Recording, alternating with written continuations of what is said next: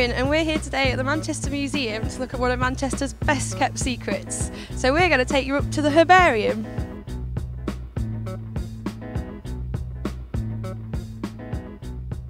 So Leander, tell us a little bit about the history of the herbarium in the Manchester Museum. Um, well, really, it's mostly um, a Victorian collection.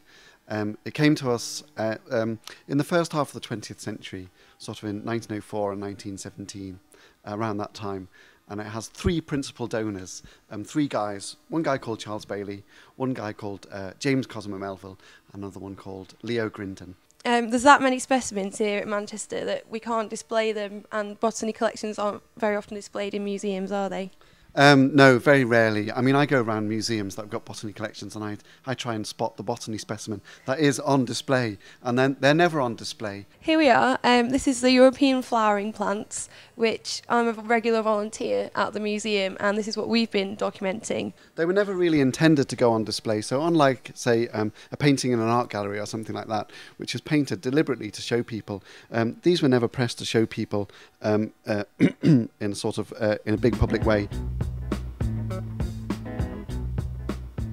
What they were mostly interested in is the distribution of plants.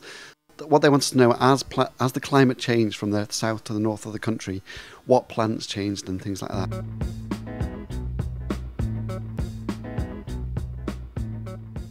And really, uh, anyone can use uh, the collections. You don't have to be a scientist or, or a student, a anyone who's just interested. So a lot of these collections were collected by local collectors.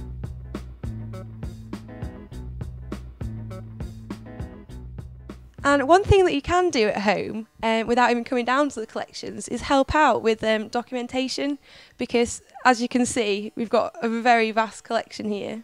And Leander's going to tell you a bit about how you can help. Yeah, um, the problem that we have really is that, as I said before, there's about a million specimens in the collection.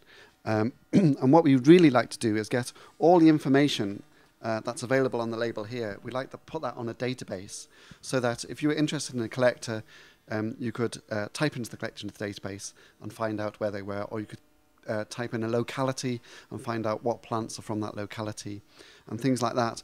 Um, but the problem is it's an enormous amount of work uh, documenting, um, putting that data into the computer. Um, one of our volunteers called Tom Humphrey, um, he came up with this idea of putting digital images of the specimens up on a website um, with, with a database so that anyone anywhere in the world can log on and document these specimens. Um, so in this way, the number of people or the number of volunteers documenting the specimens is, is virtually infinite.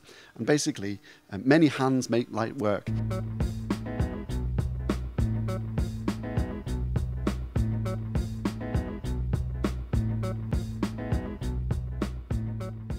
So it's a kind of collection that's not really out there, you know, people can't see it, but it's still a great resource if you want to come and have a look. Um, Leander's happy to show people around the herbarium and indulge everyone's interest in botany.